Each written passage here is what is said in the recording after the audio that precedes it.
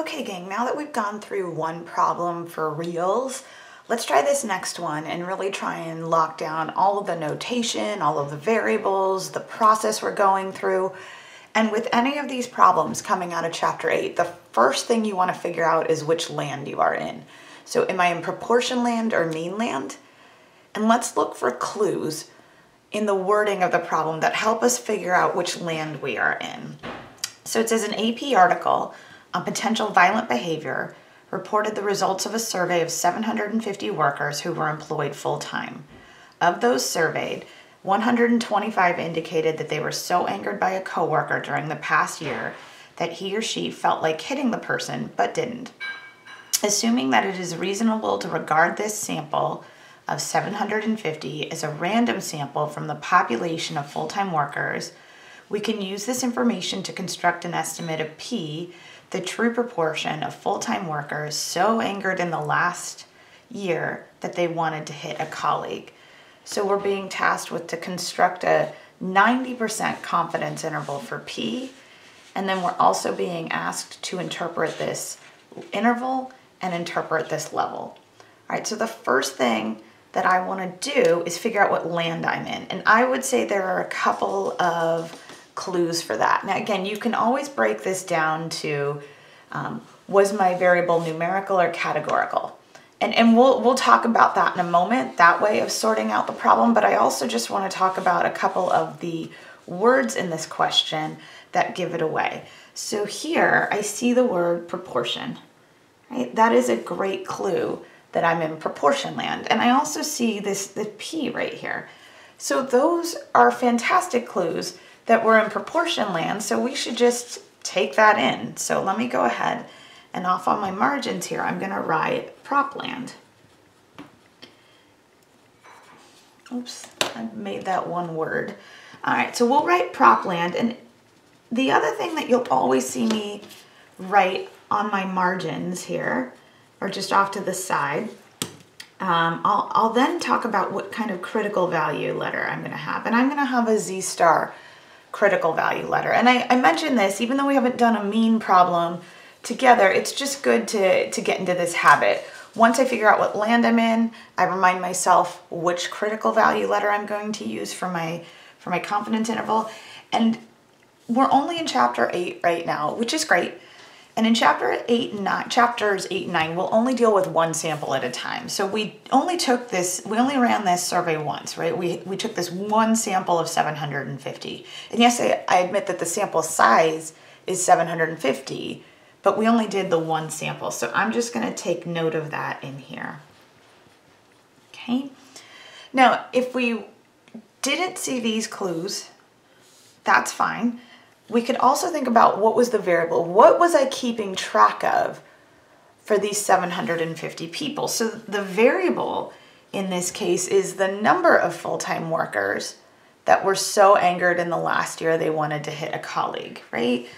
And you can think of this as I am asking these 750 people, did you want to hit a colleague last year? So yes, they wanted to, no, they didn't, right? So um, whether or not employee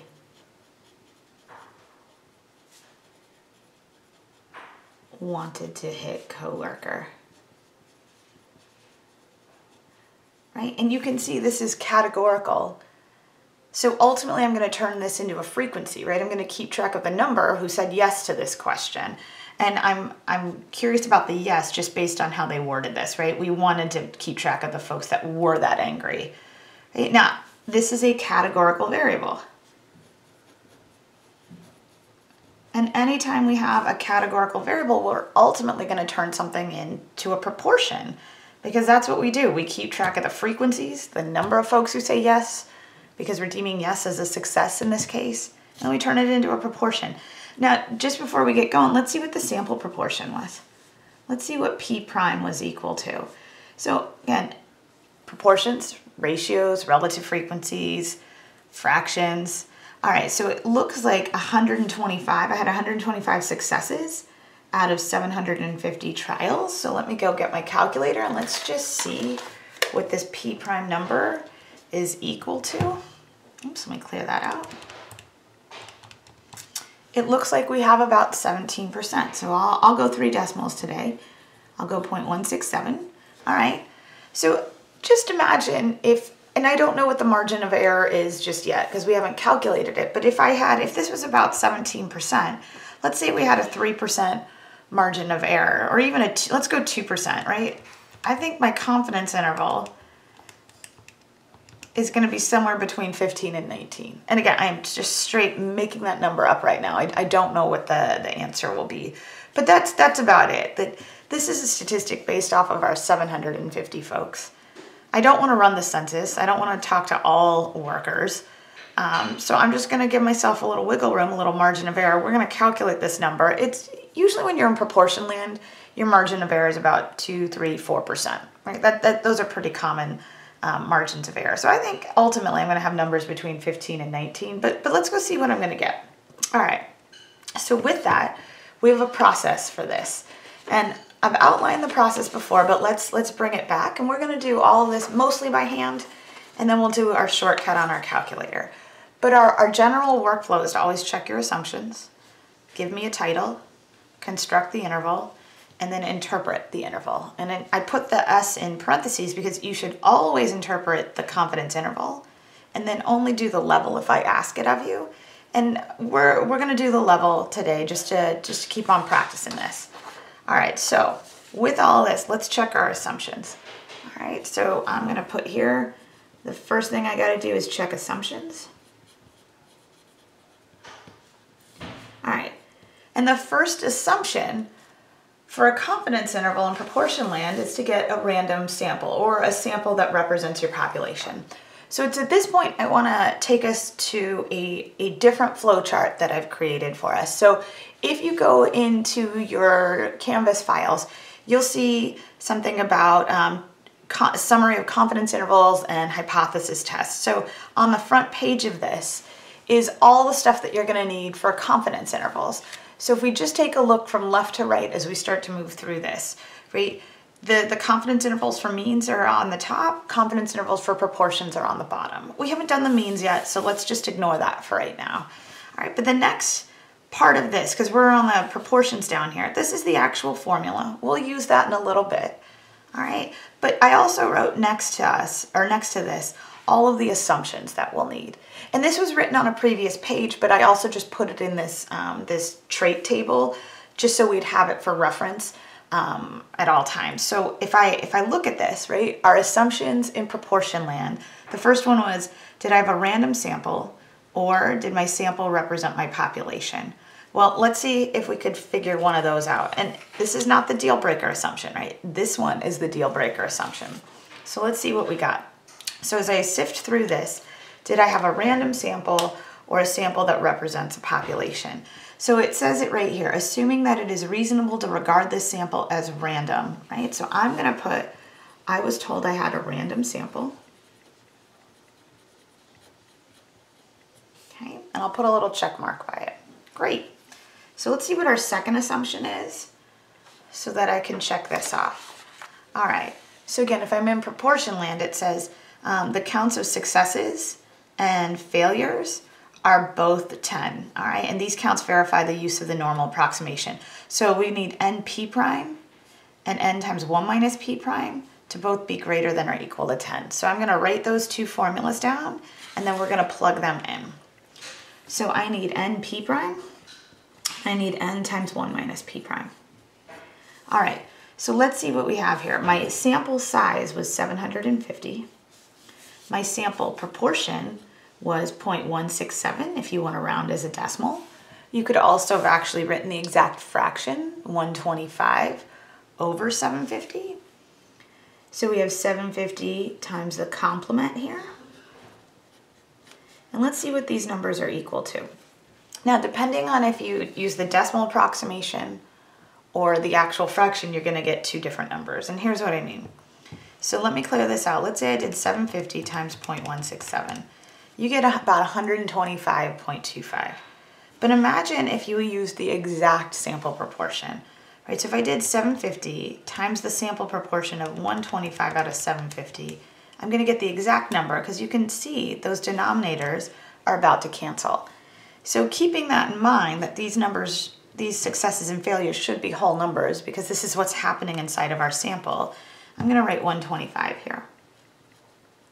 Okay, and now when I do the complement, if I do 750 times 1 minus this sample proportion of 125 over 750, you see I'm going to get 625. And again, if you were using the decimal approximation, that's fine. You're just going to, oops, not 167. Let me do 167. You're just going to get a slightly different number, right? So you see when you use the decimal approximation, you get decimals back. When you use the exact value, you get exact numbers. You get whole numbers back. You get your frequency counts back. Either way, these are both greater than or equal to 10. So let's talk about what these mean now in context. So we have 125 successes and 625 failures. And just as a note, right, if I take 125 and I add 625 to it, you get 750. And if you had added the decimal approximations, you also would have gotten 750. Your successes and failures should always total out to your sample size. But what does this mean? What does a success mean in this case, right? It was the number of folks in my sample that wanted to hit a colleague, right? So 125 people of my 755, or not 755, excuse me, of my 750, 125 of those wanted to hit a colleague. So by complement, that meant 625 did not. Okay, great. So we got our second assumption, our most important one checked off. All right, the third assumption that's gonna come out at us is that sample size is small relative to our population.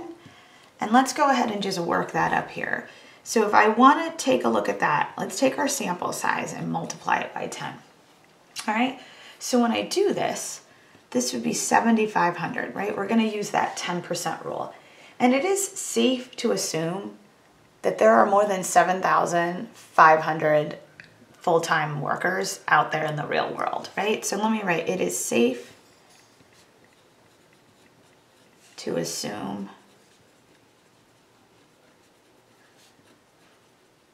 there are more than 7,500 full-time workers.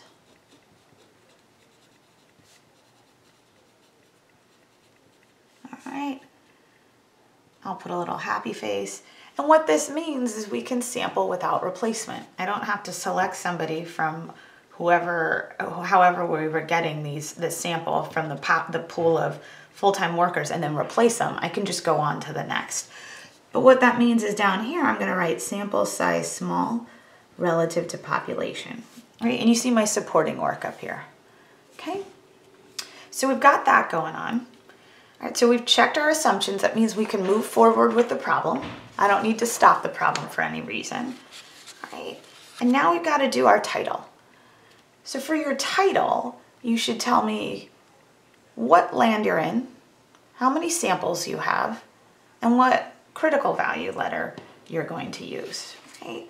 So we'll do, and we'll. I usually go by order of number of number of samples, what land you're in, and what critical value you're going to use. All right, so what I mean by that is if I, let me scoot this up just a bit so we can see it. I'll, I'll, I'll take our sample size small work out of the picture. So here, again, I only had the one sample and my sample size was 750, but I only ran this survey once. So I had one sample. I was in proportion land. And I am doing a Z star confidence interval.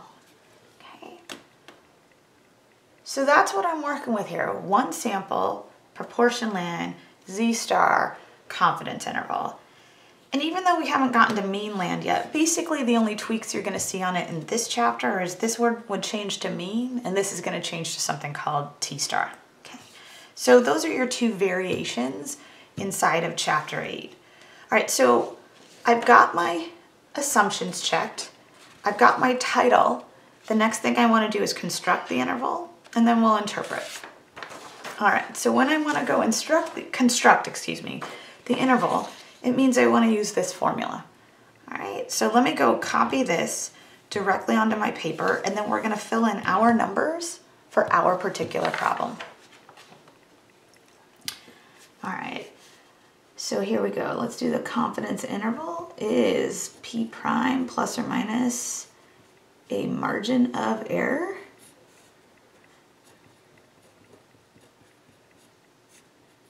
Okay, I'll just write that this was the title over here. Okay, so your confidence interval, the, the general format for it is you start with your statistic, whatever data you got from your sample, and then you add and subtract a margin of error. Now this looks ugly. I'm not saying this is pretty to look at, but this is the margin of error. So everything after the plus or minus is the margin of error. And back at the top of this, I had just said, oops, this timed out. I said, let's pretend this was 17%. If my margin of error was 2%, that means my upper bound for my confidence interval would have been um, 19%. If my margin of error is 2%, my lower bound would have been 15%.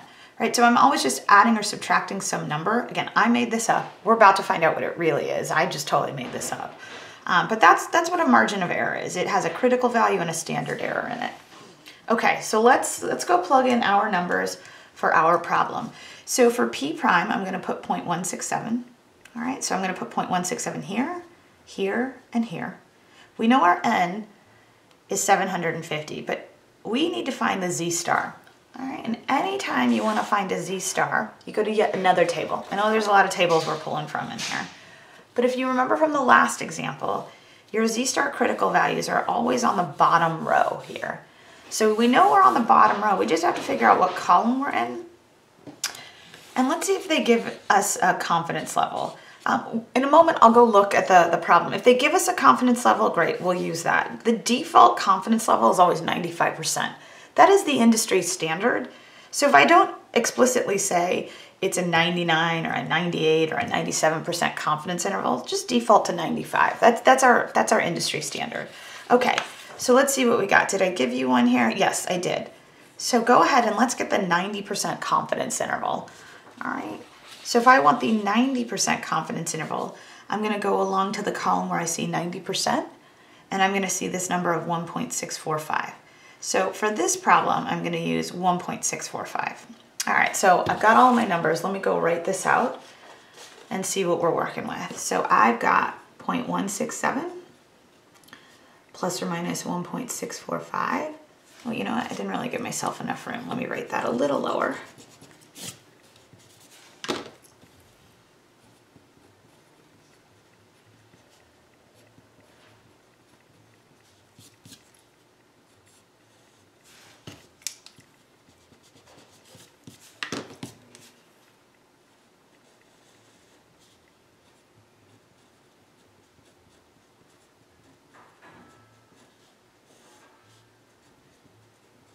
Okay. So I'm gonna go through this um, one step at a time, and then I'm gonna I'm gonna use my calculator to check my work. Okay, so I'll go through this the long way, and I want you to hear that if you wanted to jump right from here to the actual confidence interval from your calculator, that's fine. But I wanna go through it since this is our only, this is just our second time doing it together. I wanna make sure I go through every step. All right, so what I'm gonna do is I'm gonna figure out what my margin of error is first. So I wanna figure out this quantity. All right, so let's, I'm gonna start inside the parentheses. I'm gonna do 0.167 times one minus 0.167. Now keep in mind, since I'm using the decimal round off and not the exact fraction, I'm gonna have a slight um, discrepancy between the answer I'm about to calculate and what my um, calculator output will give us in a moment. And I'll show you what I mean. So I've got that number, I'm gonna divide that by 750. I need to take the square root of that number, and then I need to multiply that by 1.645. All right, so I was guessing before that we had a 2% margin of error. It's, it's slightly larger, right? It's about a 2.2% margin of error. And since I'm going with this three decimal thing, I'll go 0.022 here. So we're gonna have 0.167 plus or minus 0.022. So let me go see what my numbers are. And then keep in mind, this is just gonna be slightly different from when I plug it into my calculator function. So we've got 0.167 plus 0.022, which would be about 0.189. And then I've got 0.167 minus 0.022, which would be about 0.145. So based on my number calculations, I would say my confidence interval is from 0.145 to 0.189.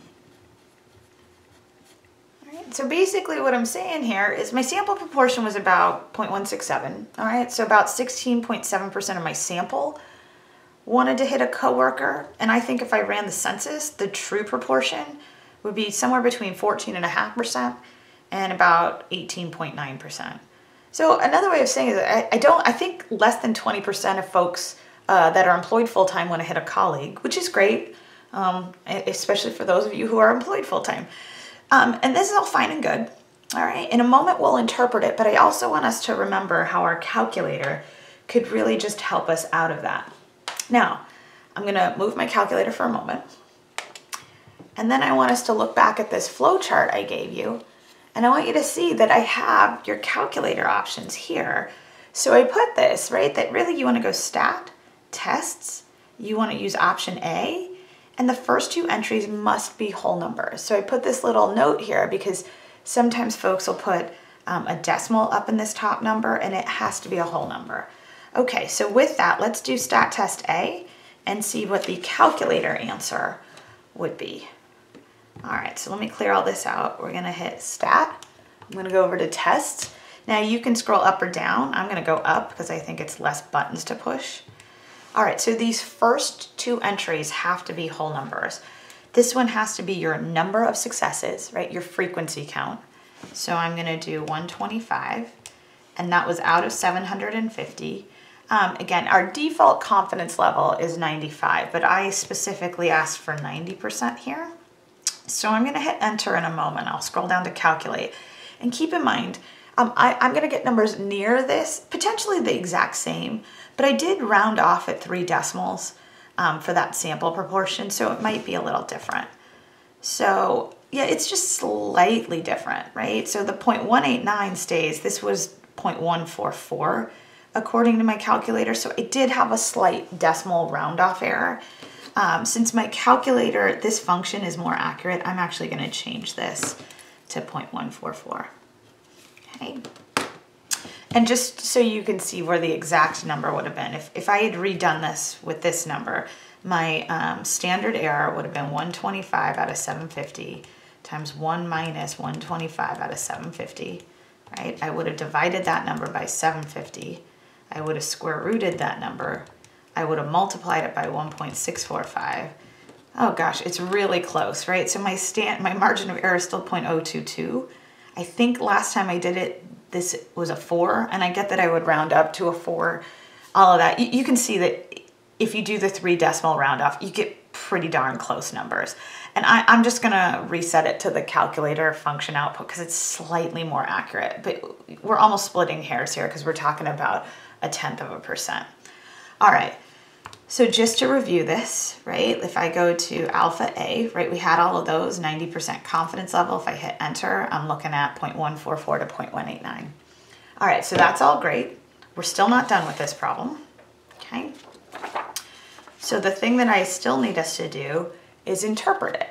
And we do have two interpretations. We're gonna do the interpretation for the confidence interval, and then we're gonna do the interpretation for the confidence level. So let's see what we would plug in for this confidence interval. So we would say we are blank percent confident that P, the true proportion of something, is between this number and this number. So let's go fill this in for what we have right now. We were 90% confident that P, this was the true proportion of full-time employees that were so angered in the last year they wanted to hit a colleague, right? We thought it was between 14.4% and 18.9%. So I'm gonna take that template and I'm just gonna fill in my, my answers for this particular problem. So let's scooch down here. I'll, I'll move this up. Okay. So for the interpretations, I'll do, I'll interpret the interval first.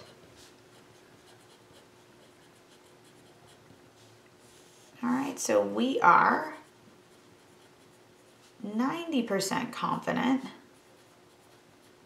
that our parameter P, so we are 90% confident that P, again, this is the number that the only way we could get this number would be to run a census, and we don't really want to do that. So we are 90% confident that P, the true proportion, and I'm going to use these words, right, of full-time workers, so angered, oh, you can't see them. Let me scoot that down. I'm going to use the words that were given to me in the problem. So I'm going to do the true proportion of full-time workers so angered in the last year that they wanted to hit a colleague. I don't want to have to make the words up on my own, so I'm just going to use what was given to me. So the true proportion of full-time workers.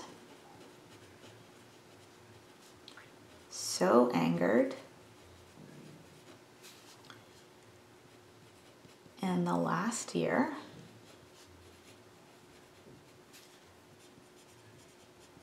that they wanted to hit a colleague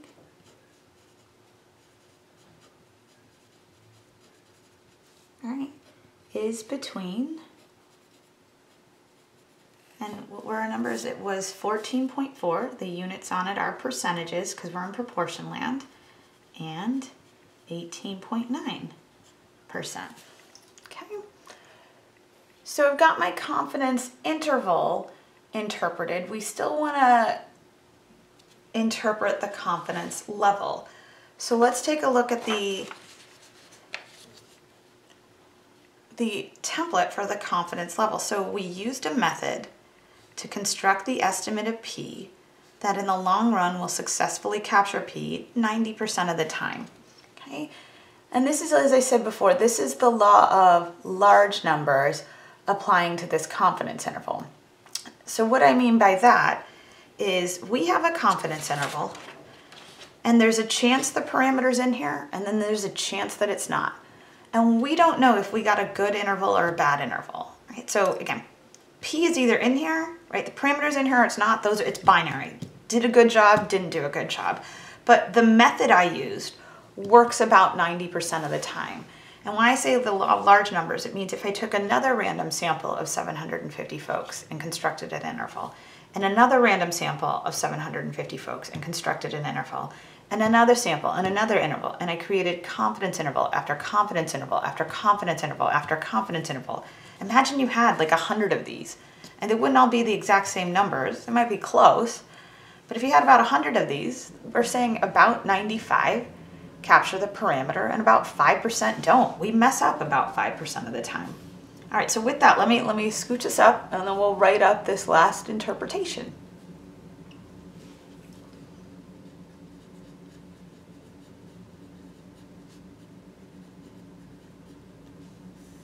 So we used a method.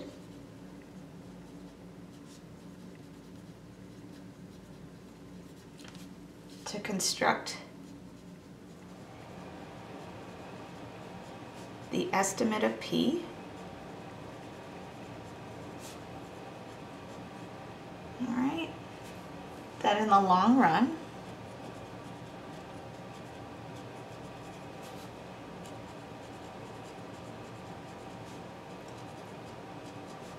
will successfully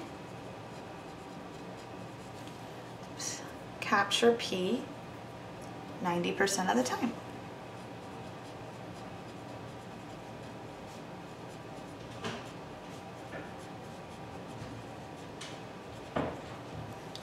And I really want you to just pay attention to some of the words here, right?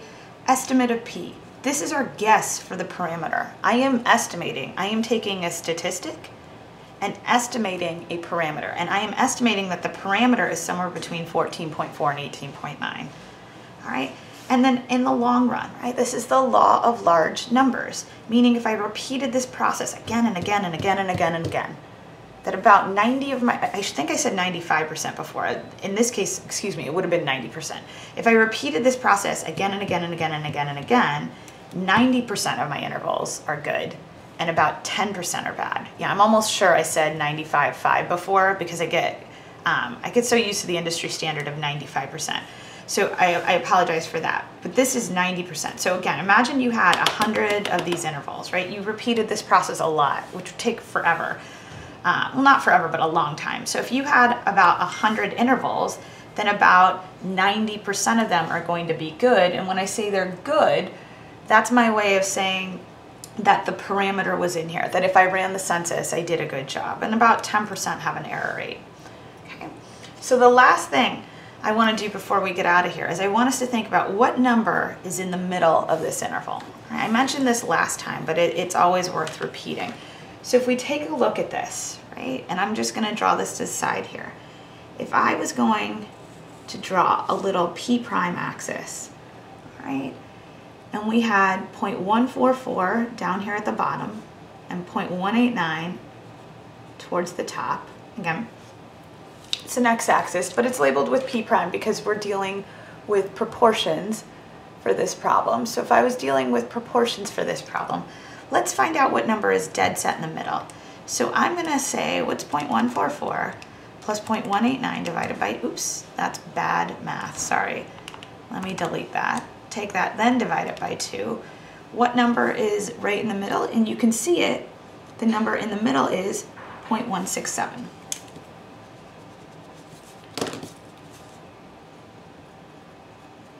And I hope that makes sense just on a, on a how, how did we construct it um, lens, right? 0.167 should be the middle.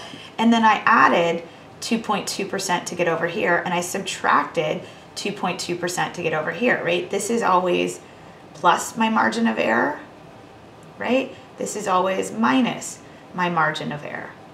And you can imagine if I had the bell curve over here, what we're saying is that about 90% of our observations would be this far from the center.